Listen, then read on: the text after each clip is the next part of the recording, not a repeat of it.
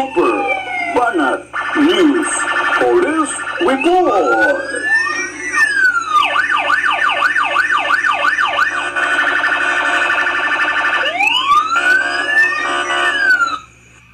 Usa ka lapida maker ang gipusil patay suod sa Calamba Cemetery dito sa Barangay Calamba, siyudad sa Subo, alas 5 kaghapon sa buntag.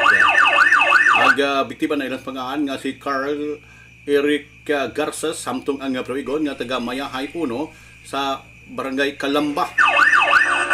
Ang uh, suspect na ilan lang sa certain na ED boy o uh, matud pa ni Police Corporal Roxanne uh, Taguwayan uh, sa Sawang Kaliro Police uh, Station 6 uh, nga ang uh, maong suspect matud pa nasuko ngadto sa maong uh, lapida. Maker gumikan kay wa humana ang iyang gipabuhat nga lapida nga nabayran na kini.